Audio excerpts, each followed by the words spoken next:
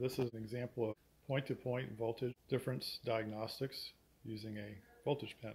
This microwave has no power. It's plugged in. I'm getting L1 to that side of the fuse. I'm getting L1 on this side. It's making it over to this thermal cutoff here, but it's not coming out of it.